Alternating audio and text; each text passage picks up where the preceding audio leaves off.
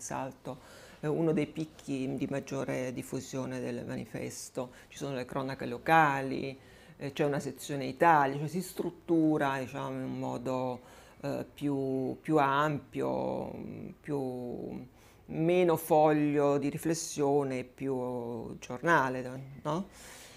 Si stenta a capire eh, la, l'anomalia di, del giornale che è proprio in questa sua così strana eh, composizione. Eh, per cui ci sono eh, generazioni di comunisti e generazioni di persone che non sono eh, state comuniste ma che sono anticapitaliste e non tutti quelli che sono anticapitalisti sono comunisti, mentre io penso che tutti quelli che sono comunisti sono anticapitalisti, però c'è proprio un fatto in questo generazionale proprio di esperienze di vita, di politica, di movimento eh, diverse. E, e quindi finché c'è questo nel manifesto si respira anche un'aria molto frizzante, molto interessante perché eh, appunto c'è un movimentismo che mh, mm, si confronta con invece una logica più tradizionale di cultura politica. Anche se il manifesto poi appunto è un gruppo eretico che contesta la cultura politica eh, no? del partito di provenienza, del partito comunista e quindi c'è sempre poi un momento di incontro e di sintesi quando si riesce a, a discutere. Il manifesto per me è stato anche molto importante perché non era solo un lavoro, era soprattutto un, un interesse anche politico di, e giornalistico di stare in un luogo dove succedevano delle cose, dove si, si diceva delle cose, dove si cercava di uh, relazionarsi col mondo, con uh, gli avvenimenti uh, politici, storici. Quando sono arrivata qua, appunto all'inizio mi ricordo della guerra dell'ex Jugoslavia, Uh, è stato, devo dire, uno shock. Uh, il modo di fare grafica al manifesto non è cambiato, ma è cambiata la tecnologia, per cui uh, prima eh, era più artigianale, diciamo. Disegnavamo su carta, c'erano vari passaggi, ehm, sceglievamo le foto, in, uh, in modo diverso, forse molto più interessante che adesso, perché venivano i fotografi, ci raccontavano le foto che, che ci portavano, uh, quelle foto avevano un significato diverso. Oggi noi abbiamo la Reuters, la Societe Press e ci arrivano uh, sugli schermi in una maniera un po' come la televisione, le subiamo non, uh, le scegliamo, ma in qualche modo le subiamo. Non c'è una storia dietro del fotografo, di chi l'ha fatta quella foto. E, e questo è l'aspetto giornalistico anche interessante di questo lavoro. E poi uh, la creazione di una pagina um, significa uh, parlare con il giornalista che viene per disegnare appunto una pagina sapere che cosa mettiamo in pagina è molto importante. Uh, che senso vuole dare il, giornali il, giornalista a quella pagina. E questo fa sì che è un lavoro meraviglioso. È la storia della grafica, soprattutto dei quotidiani in Italia. E il manifesto rappresenta questa storia, uh, perché i più grandi... Uh, eh, direttori artistici hanno lavorato per il manifesto e spesso e quasi sempre gratis, perché la nostra specificità è lavorare gratis per noi. E, e anche noi lavoriamo gratis per noi, in effetti, molto spesso.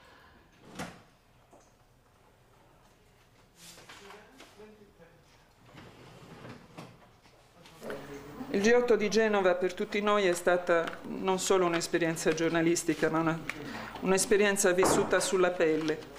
Sulla pelle perché come giornale decidemmo mentre lavoravamo, mentre scoprivamo che, che era morto un giovane ragazzo, decidemmo di andare a Genova, di andare a Genova con un pullman nella notte, di, di, di andare alla manifestazione dopo la morte di Carlo Giuliani e di tornare e di lavorare di domenica per fare un giornale speciale. Chiedemmo nelle nostre pagine ai nostri lettori anche a chi non ci leggeva o, o ci comprava in quei giorni perché era successa una cosa così grave, di darci le, le proprie foto, di portarcele in redazione, di portare anche i rullini, li avremmo stampati noi. Una mattina si presentò in riunione di redazione una giovanissima. Era stata dentro la scuola Diaz la mattina presto, dopo aver passato la notte insonne davanti al, ai portoni chiusi, era entrata dentro la Diaz, subito dopo, quando si poté entrare, e, e camminando in quei corridoi trovò su un mobile un sacchetto, un sacchetto di, di rullini, di rullini mai sviluppati. Non sapeva che fare e nel, nell'incertezza decise di portarlo via. E leggendo il nostro appello sul quotidiano ce lo portò e noi andammo a svilupparlo. Si capì da quelle foto che sviluppammo, erano 8-10 rullini, centinaia di foto, era un sacchetto di ragazzi che stavano girando in giro per l'Europa, due giovani. Noi sviluppammo quelle foto per capire che fine avevano fatto, visto che erano stati dentro quella maledetta scuola. Scoprimmo, stampandole, di forze che, essendo stati passati anche a Roma, qualcuno li poteva conoscere. E in effetti dei ragazzi dei centri sociali li riconobbero. E potemmo poi sapere, attraverso i contatti che avevano preso al, al centro sociale di Roma che chi erano questi due ragazzi e soprattutto che erano stati dentro la Diaz, che erano finiti a Bolzaneto, non poterono raccontarci la loro storia, non avrebbero potuto, non avevano voglia, avevano voglia di fuggire dall'Italia.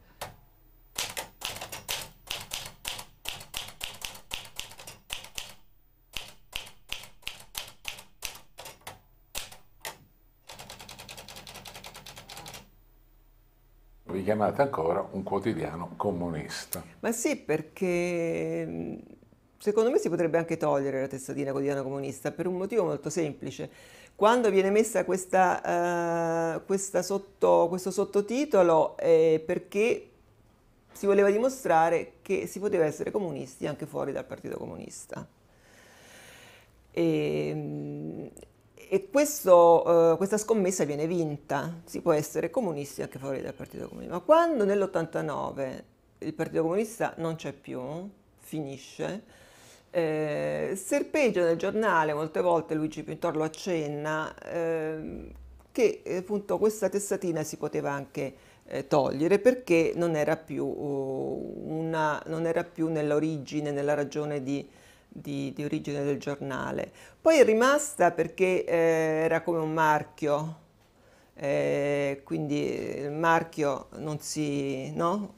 non si toglie, non si tocca, però non ha più il valore che aveva all'inizio, quando proprio nasce il giornale, polemicamente questa testatina viene messa perché c'è un partito comunista. Io ho detto dovremmo togliere la testatina comunista eh, dal, dal, dal giornale non perché diventiamo più di destra, ma perché questa testatina comunista ci permette di avere il massimo di vaghezza politica possibile.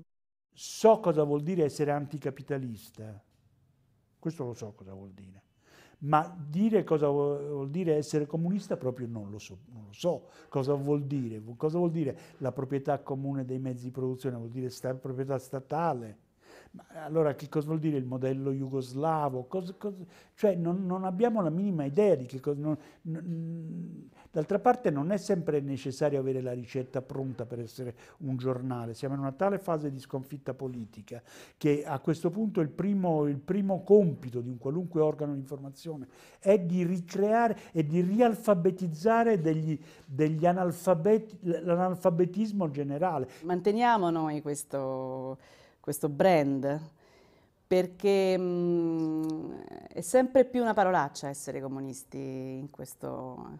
E allora non fosse altro per ricordare che questa parolaccia si può ancora dire, tanto più nel senso in cui lo ha detto il manifesto eh, quando è nato, cioè un, un, comunismo diverso e non allineato con i blocchi.